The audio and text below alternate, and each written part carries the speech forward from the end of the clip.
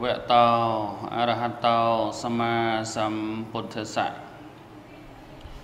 នមន្តោរតនតយស្សៈវន្ទាមីខ្ញុំប្រកាសណាសូមនមស្ការចំពោះប្រជុំ3នៃបត្រៃរតជារតនៈឧត្តមឧត្តមប្រសាក្នុងលោកដោយសេចក្តីគោរពសពសពកាលសូមក្រាបថ្វាយបង្គំចំពោះសម្ដេចព្រះមហាសង្ឃរាជទាំងពីរគណៈ សម្ដេចព្រះសង្ឃនាយកសង្ឃនាយករងព្រះមេគុណព្រះអនុគុណព្រះដៃជគុណព្រះចៅអធិការព្រះថេរានុថេរៈគ្រប់ព្រះអង្គទាំងអស់ដោយសេចក្តីគោរពនិងដោយសេចក្តីកត់ក្រែងសូមចម្រើនពរសម្ដេចទ្រង់ព្រះអង្គម្ចាស់អាយដាមលោកជំទាវលោកលោកស្រីនាងកញ្ញាព្រមទាំងពុទ្ធបរិស័ទ មហាបរិស័ទទាំងអស់ដោយសេចក្តីស្រឡាញ់រាប់អានដោយជ្រាលជ្រៅបំផុតក្នុងព្រះធម៌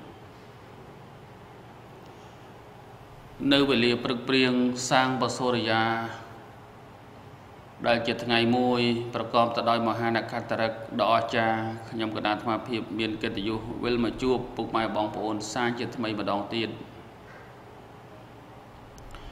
តាមរយៈទូរទស្សន៍ប៉ុស្តិ៍ តូតកផ្សាយចេញពីរាជធានីភ្នំពេញចាប់ពីម៉ោង5:50នាទីដល់ម៉ោង6 20នាទីព្រឹកពីថ្ងៃពុធដល់ថ្ងៃសុក្រ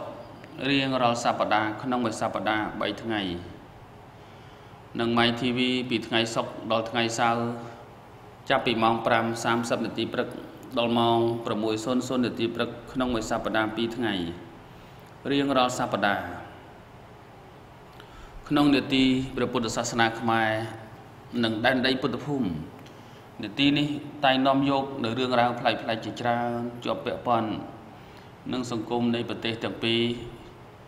ក៏ដូចជាជុំវិញពុទ្ធសាសនៈបរមពុទ្ធោវាទរបស់ព្រះសម្មាសម្ពុទ្ធព្រះអង្គម្ចាស់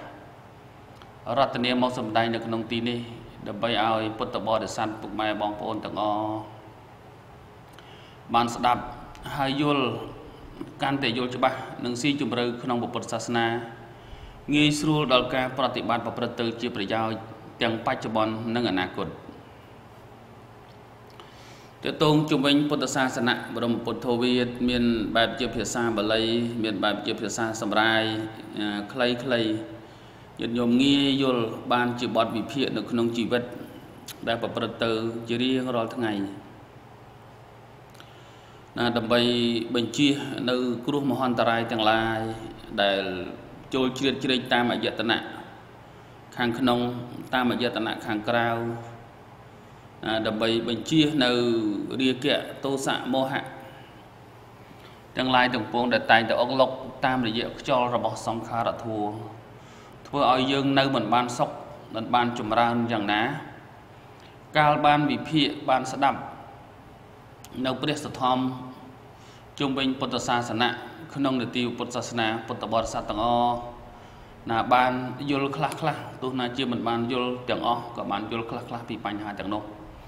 ដើម្បីពិចារណាការរស់នៅនៅក្នុងជីវិតទាំងបច្ចុប្បន្ននិងអនាគតជុំវិញពុទ្ធសាសនៈបរមពុទ្ធោវាទថ្មភាពថ្ងៃនេះបន្តកាលពីคลิปថ្ងៃមុនញាតិញោមនិយាយពីរឿងនិយាយពីរឿងហៅថាគោលចរិត របស់ញាតិញោមពុទ្ធបរិស័ទម៉ែបងប្អូនទាំងអស់ហើយទាំងចាស់ទាំងក្មេងណាក៏ត្រូវការធัวធัวនេះមិនចាំបាច់ថាតូចឬធំសឬខ្មៅចាស់ឬក្មេងអ្នកមានអ្នកក្រយ៉ាងណាទេគឺថាត្រូវការធัวទាំងអស់រស់នៅដោយគ្មានធัวមិនបានសុខស្រួលទេ រស់នៅដោយគ្មានធัวមិនមានប្រយោជន៍ទេរស់នៅដោយគ្មានធัวណាពុំមានក្តីសង្ឃឹមនៅក្នុងជីវិតហើយពុំបានសុខនោះទេញាតិញោមណាចឹងពាក្យថាធម៌មួយម៉ាត់នេះញាតិញោមពុទ្ធបរិស័ទបាភាពធ្លាប់លើកឡើងហើយពធនេះវិសេសវិសាលណាស់គ្របដណ្ដប់ទៅមនុស្សនិងទេវតាមាព្រំអានឹងគឺនៅក្នុងភពផែនដីនេះ ហើយគ្របដណ្ដប់ទៅអាណាខេត្តរបស់ព្រះសម្មាសម្ពុទ្ធជាអង្គម្ចាស់ដល់ទៅ1សែនកោតចក្រវាល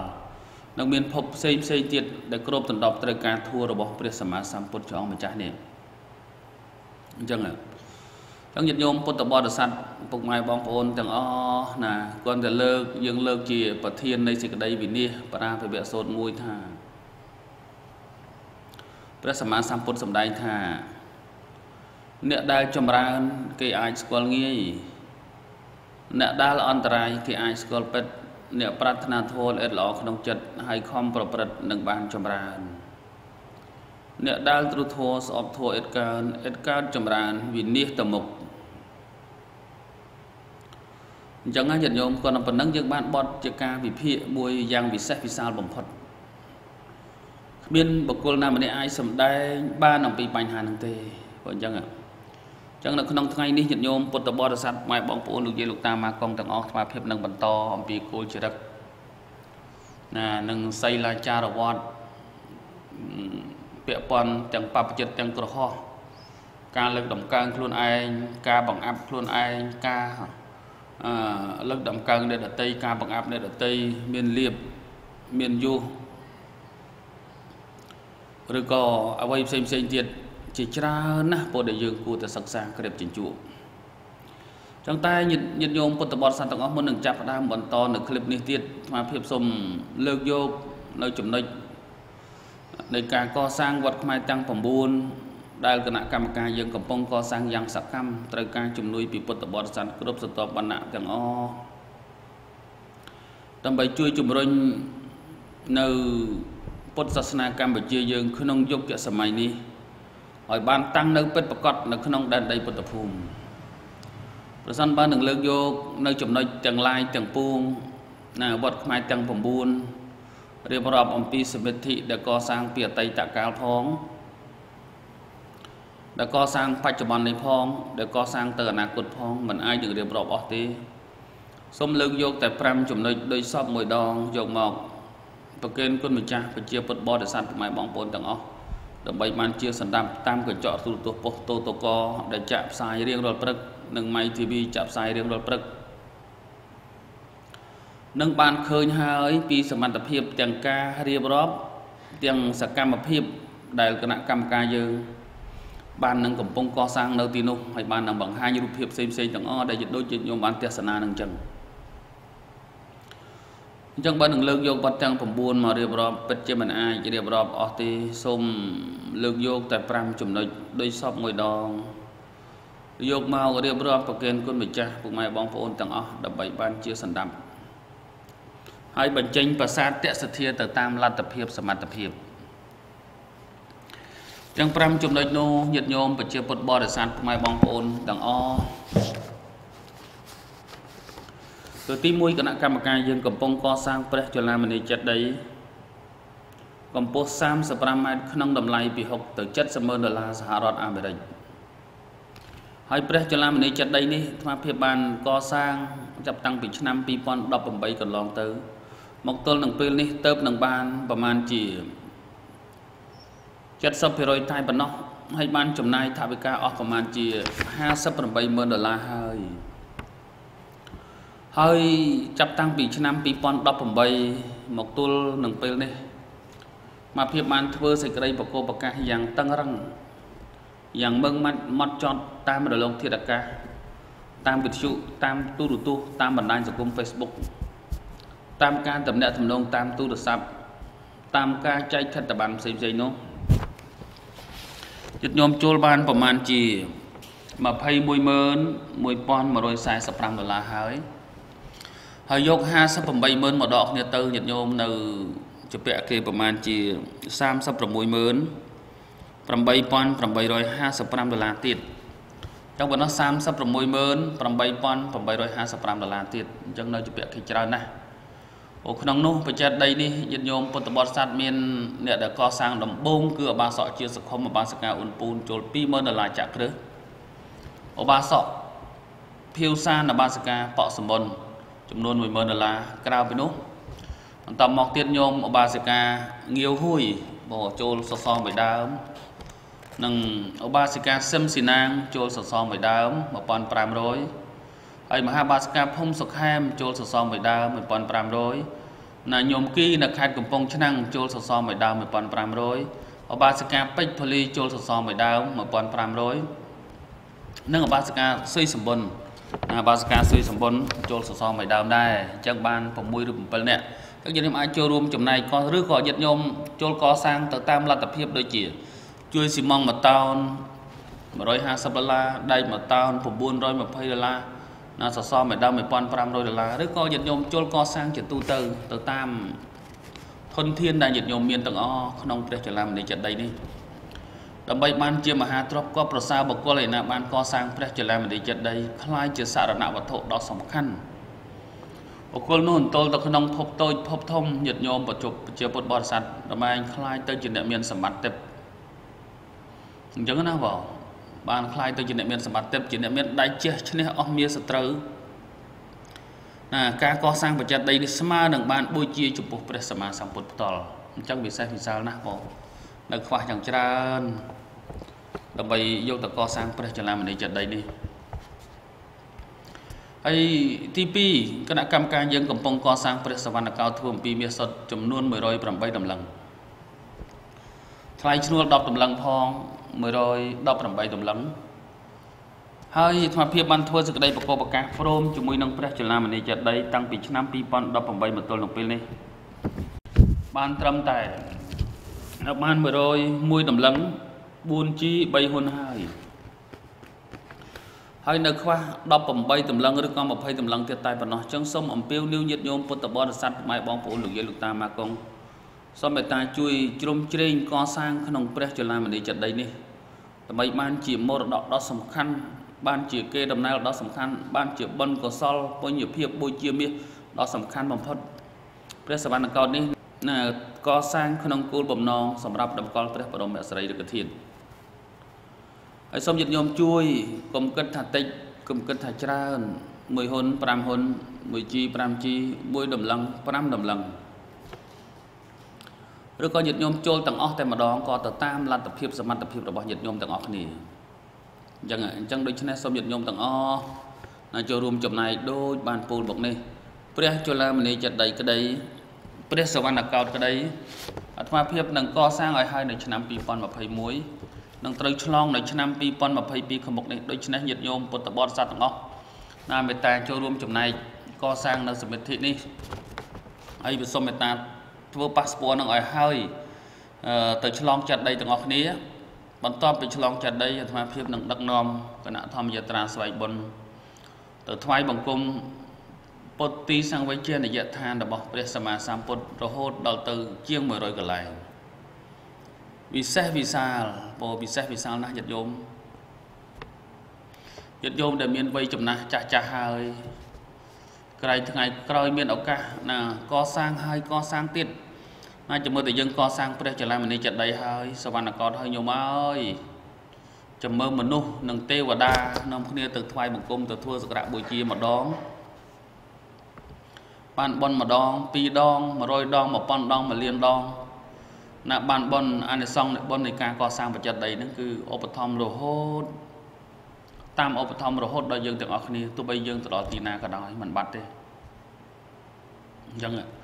ហើយបច្ចិតដីនេះមិនមែនទុកមួយឆ្នាំពីរឆ្នាំយកមក100ឆ្នាំ1000ឆ្នាំតទៅមុខអាត្មាជឿជាក់ថាអធិដ្ឋយើងអធិដ្ឋានឲ្យបានតាំងនៅអស់100ពាន់ឆ្នាំរហូតដល់សាសនាព្រះសម្មាសម្ពុទ្ធ ទ្រង់ពនាមអរិយមេត្រីព្រះអង្គឧបត្តិឡើងក្នុងលោកហ្នឹងហើយទី3ទី3ដីប្រឡោះកដាលវត្តខ្មែរពុទ្ធកយាកន្លែងព្រះសម្មាសម្ពុទ្ធព្រះអង្គទ្រង់បានត្រាស់ដឹងដីពុទ្ធកយានេះថ្មភាពព្យាយាមជាវប្រហែលជា7 20ឆ្នាំมันបានតល់ទៅសោះលោកឪពុកអ្នកម្ដាយហើយប៉ុន្តែពេលណាមិនលក់ខែណាមិនលក់ មកលក់ចំឆ្នាំ2020ដែលជាឆ្នាំអន្តរភាពធ្លាប់លើកឡើងថាជាឆ្នាំជាឆ្នាំដែលនាំគ្រោះមហន្តរាយដ៏ធំបំផុតគឺកូវីដ -19 រោគកូវីដ -19 ហៅថា COVID ឆ្នាំ2019ប្រហារជីវិតសត្វលោកអស់ជាច្រើនម៉ឺនច្រើនលានបងចឹងអញ្ចឹងប៉ុន្តែទោះជាយ៉ាងនេះក៏ដោយក៏គណៈកម្មការយើងជាប្រសងក្តី ជាបព្វជិតក្តីមិនបោះបង់ការតស៊ូទេ ត្រូវក៏ត្រូវតស៊ូយ៉ាងស្វិតស្វាញបំផុតធ្វើយ៉ាងណាយកដីប្រឡោះកដាលវត្តខ្មែរពុទ្ធយានឹងឲ្យខានតែបាន ដីនេះមានទទឹង15ម៉ែត្រនិងបណ្ដោយ74ម៉ែត្របើគិតជាការ៉េស្មើនឹង1110ការ៉េបើគិតជាតម្លៃក្នុង1ម៉ែត្រការ៉េ1000ដុល្លារហើយបើគិតជាតម្លៃសរុប1លាន100,000ដុល្លារ ហើយបងតាក់បងពុន100000ផងញាតិញោម1លាន20000ដុល្លារហើយអាភាពធ្វើសេចក្តីប្រកបប្រកាសយ៉ាងតឹងរឹងតាំងពីចុងខែ3រហូតមកដល់ខែចូលខែ11នេះថ្ងៃនេះបងចូលខែ11ហើយអញ្ចឹងញាតិញោមប្រជាពុទ្ធបរិស័ទទាំងអស់មកភាពប្រកាសញាតិក្នុងពេលនោះញាតិញោមចូលបានប្រហែលជា192ឥឡូវព្រឹកមិញនេះព្រឹកមិញបានចូល2ការ៉េទៀតគឺបាន194ម៉ែត្រការ៉េហើយបង 194ម៉ែត្រការ៉េខ្វះ900ខ្វះ916ម៉ែត្រការ៉េទៀតទាំងនេះគឺជាឱកាសសម្រាប់ប្រជាពុទ្ធលោកប្រជាពុទ្ធបរិស័ទលោកសេដ្ឋីកហបតីអ្នកមានថវិកាណាច្រើននឹងចូលរួមចំណែកជាវដីប្រឡោះកដាវត្តខ្មែរពុទ្ធវិហារនេះដើម្បីបានជាកំណប់ទ្របគប់ប្រសើរប៉ុន្តែក្នុងដែនដីត្រាស់ដឹង ទីនេះសម្បូរទៅដោយពុទ្ធធាតុធម្មធាតុសង្ឃធាតុជាព្រះអរហន្តយ៉ាងច្រើនពេលដែលញាតិញោមបានចូលទៅដល់ នៅតំបន់ពុទ្ធគយានេះញាតិញោមមានបច្ចេកដីដែលកសាងតាំងពីជាង2000ឆ្នាំមុន មានដើមពោធិព្រឹកមានរតនបល្ល័ង្កមានសតមហាឋានទាំង7ណាដែលជាទីជ្រះថ្លារីករាយនៃពុទ្ធបរិស័ទនាំគ្នាទៅថ្វាយបង្គំ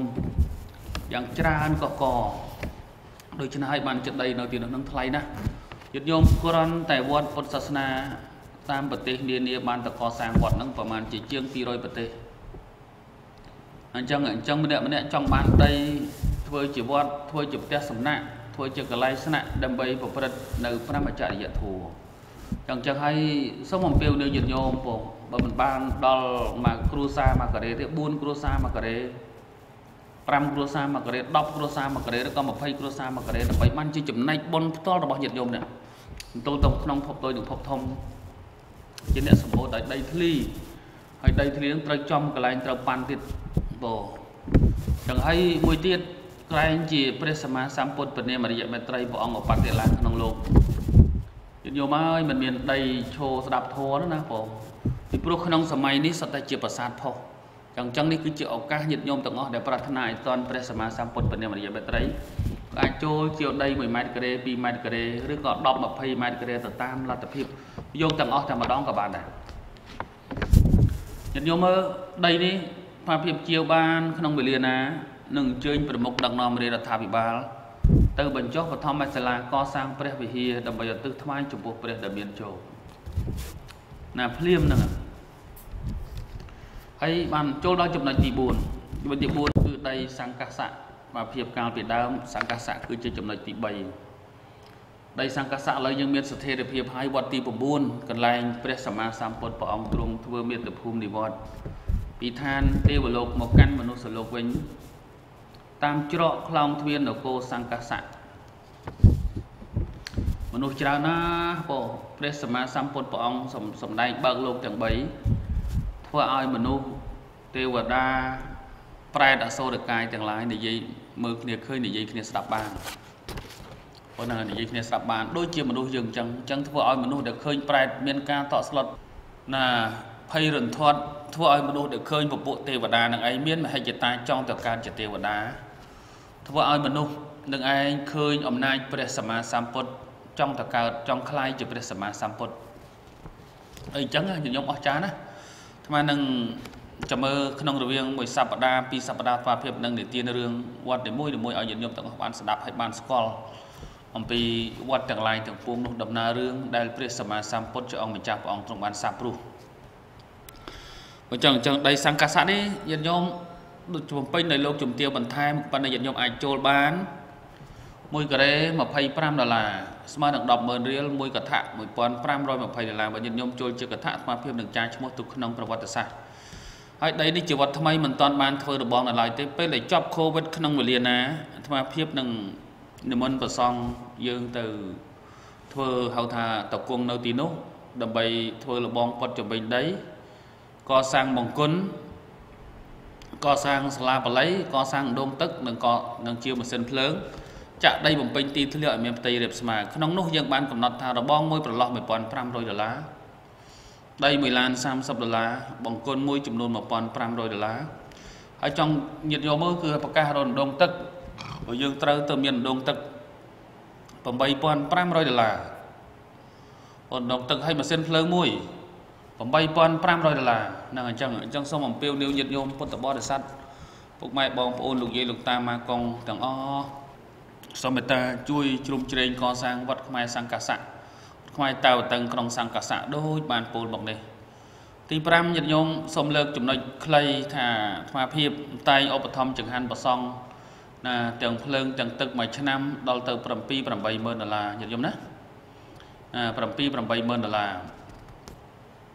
ហើយញាតិញោមចូលបានតែ3000ទៅ5000តែប៉ុណ្ណោះអញ្ចឹងមិនអាចតាំងនៅបានទេហើយឆ្នាំនេះថ្មភាពប្រកបប្រកាសតាមទូរទស្សន៍តាមអឺរលកធាតុអាកាសតាមបណ្ដាញសង្គម Facebook នឹងញាតិញោមចូលបានប្រហែលជាអឺចាប់ចាប់តាំងពីចុងខែ3មកញាតិញោមចូលបានប្រហែលជា22880ដុល្លារ ហើយនឹងប៉ុណ្ណឹងហើយញាតិញោមចូលមកទៀតចាំបូកសរុបនៅថ្ងៃច័ន្ទណាបន្ទាប់ពីសប្តាហ៍ក្រោយប៉ុណ្ណឹងបូកសរុបប្រកេនគុណម្ចាស់ញាតិញោមពុទ្ធបរិស័ទទាំងអស់ពីចំណូលប្រចាំថ្ងៃពីចំណូលប្រចាំខែតាមរយៈការផ្សព្វផ្សាយតាមរលកធាតុអាកាសនិងតាមរយៈទូរទស្សន៍ផ្សេងៗទាំងអស់ដែលញាតិញោមចូលរួមចំណាយកសាងអញ្ចឹងបើ6ខែបានប៉ុណ្ណឹង20000ជាងប៉ុណ្ណឹងបើសិនណាមួយឆ្នាំបានតែជាង50000ទៅទោះជាមិនគ្រប់ខ្វះតិចតួចក៏ជាការក្រន់បើដែរ មកញាតិញោមជួយដូចជាអង្គមួយតោន700ដុល្លារកន្លះតោន350ដុល្លារណាកន្លះតោន350ដុល្លារនិងអង្គមួយបាវ45ដុល្លារបើមិនបានដល់ប៉ុណ្ណឹងទេបានកន្លះបានមួយបាវដល់45បាន45បានកន្លះបាវ22ដុល្លារប៉ុណ្ណឹងក៏គ្រាន់បើដែរបើបានដល់22ដុល្លារមកបាន1គីឡូ2គីឡូម្នាក់10រៀល20រៀលមកផ្សំមកអញ្ចឹងនៅក្នុងគ្រឿងចង្ហាន់នេះមានញាតិញោមជួយឧបត្ថម្ភបានខ្លះដូចជាឧបាសិកាពេជ្រផលី ក្នុងមួយខែ350ដុល្លារចង្ហាន់ផងកសាងផងហើយហ្នឹងហើយមហាបាសភូមិសុខែម100ដុល្លារលោកជំទាវ45 100ដុល្លារហើយឧបាសកងុយសេញឧបាសិកាអ៊ីចេញណៃ120ដុល្លារអឺនិងឧបាសកហ៊ីលហ៊ីងឧបាសិកាឧបាសកហ៊ីលហ៊ីងមួយខែ150ដុល្លារដែរហើយបន្តមកទៀត ឧបាសកយ៉ាវយងឧបាសិកាកងភួង បានប្រចាំខែបតមិនប្រកបហើយនឹងឧបាសិកាទឹកសុខៀងនៅខាងពោធិបានកោះធំក៏មួយខែគ្នាគាត់បាន4 10 20ម៉ឺនដែរហើយនឹងឧបាសកអឺភៀវសានឧបាសិកាបកសម្បុនក្នុងមួយខែ50ដុល្លារអញ្ចឹងញាតិញោមមើលបាន7នាក់ហើយចឹងថ្មភាពនឹងសន្សំញាតិញោមទាំងអស់ចូលរួមមកហើយឥឡូវញោមស្វ័យរៀងមួយទៀតហ្នឹងគាត់ប្រុងចូលមួយខែ50000ដុល្លារអស់សំទោសមួយខែ50000រៀលអញ្ចឹងញាតិញោមណា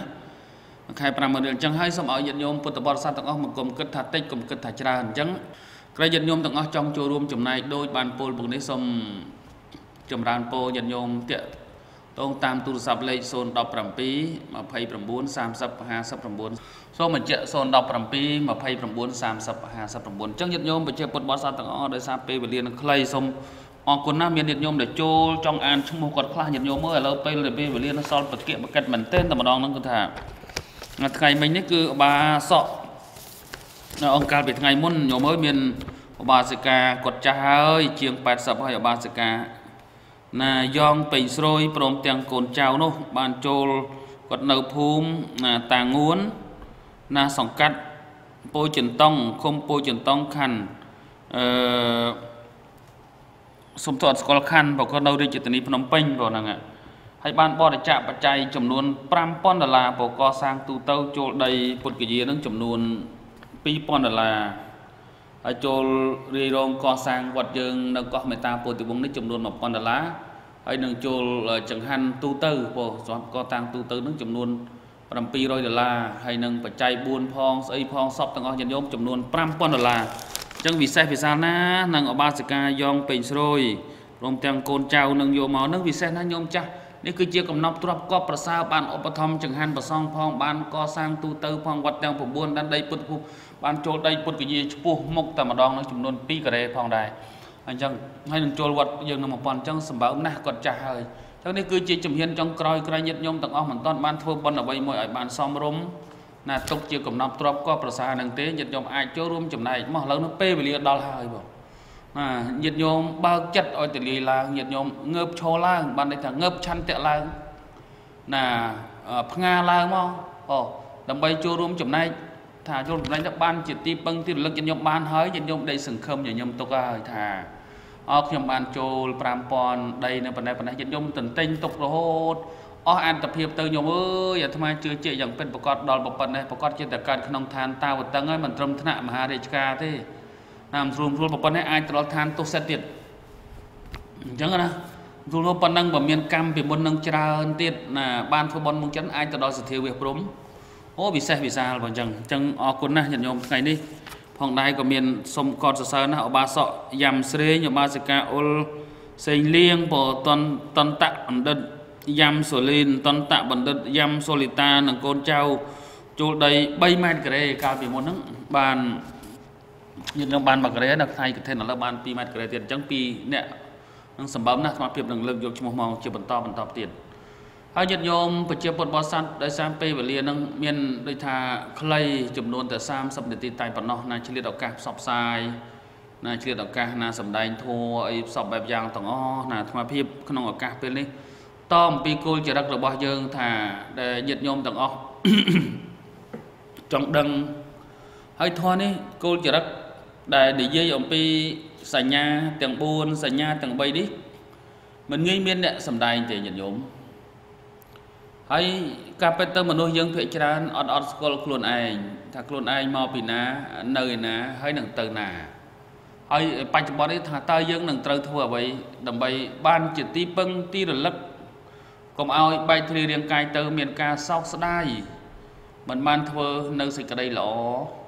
មិនបានធ្វើនៅអំពើផ្សេងផ្សេងដែលជាកុសលឥឡូវនេះសូមចម្រើនពុទ្ធញាតិញោមថាយើងទាំងអស់គ្នាឲ្យស្គាល់ថាឥឡូវនេះយើងគឺជាមនុស្សពេញលក្ខណៈដែលព្រះសម្មាសម្ពុទ្ធព្រះអង្គសម្ដែងថា ធម្មជាតិឯណាដែលដឹងនៅហេតុនិងផលល្អនិងអាក្រក់ណានឹងគឺធម្មជាតិនោះហៅថាមនុស្សឥឡូវនេះយើងដឹងថាឥឡូវញាតិញោមដឹងទាំងអស់អាចបែងចែកហេតុការទាំងឡាយទាំងពួងទោះជាសភាវៈ ធัวទាំងឡាយអុកលុកតាមអយតនៈខាងក្នុងខាងក្រៅតាំងពីតូចក្រូចឆ្មារហូតដល់ពេញវ័យដល់ពេញវ័យមានកូនមានប្តីមានចៅណាអ្វីអុកលុកយ៉ាងណាក៏ដោយក៏យើងអាចទប់នឹងសភាពនឹងបានអញ្ចឹងញាតិញោមមិនមែនចេះតែទប់បានទេណាមានអ្នកខ្លះមានរឿងទិញទួយទៅអូយស្រ័យយំណាស្រ័យយំពោលដើម្បីរកអ្នកទីពឹងដើម្បីរកអ្នកជួយលើកទឹកចិត្តសពបែបយ៉ាងទាំងអស់រហូតដល់មានការវិកលចរិតក៏មានដែរឃើញមានរឿងតិចតួច អ្នកខ្លះគ្រាន់តែបែកប្តីនោះក៏អឺទុកសភាពនឹងមកជាប់អ្នកខ្លះគ្រាន់តែបែកកូននោះក៏ស្ទើរវិកលចរិតអ្នកខ្លះគ្រាន់តែរស់ស៊ីខាតនោះស្ទើរវិកលចរិតអ្នកខ្លះគ្រាន់តែហូបបាយមិនបានហ្នឹងក៏ស្ទើរវិកលចរិតអ្នកខ្លះអូច្រើនប្រការណាបញ្ញត្តិញោមទាំងអស់ទោះជាសភាពទាំងទាំងឡាយទាំងពួងឯណាបានកើតឡើងនៅក្នុងញោមគ្រប់គ្នាទាំងអស់ក៏ដោយដែលយត្តញោមទេសនានេះបញ្ញត្តិញោមអាចកិច្ចផុតអំពីហៅ ថាមហន្តរាយទាំងឡាយដែលកើតអំពីរាគៈទុសៈមោហៈដែលមហន្តរាយទាំងឡាយដែលកើតអំពីតិចដែលកើតអំពីភ្នែកដែលកើតអំពីចិត្តដ៏សាហាវយងក្នុងនោះហើយដែលមហន្តរាយទាំងឡាយដែលកើតអំពីគេក្បត់ចិត្តមហន្តរាយទាំងឡាយដែលកើតអំពីរោស៊ីខាត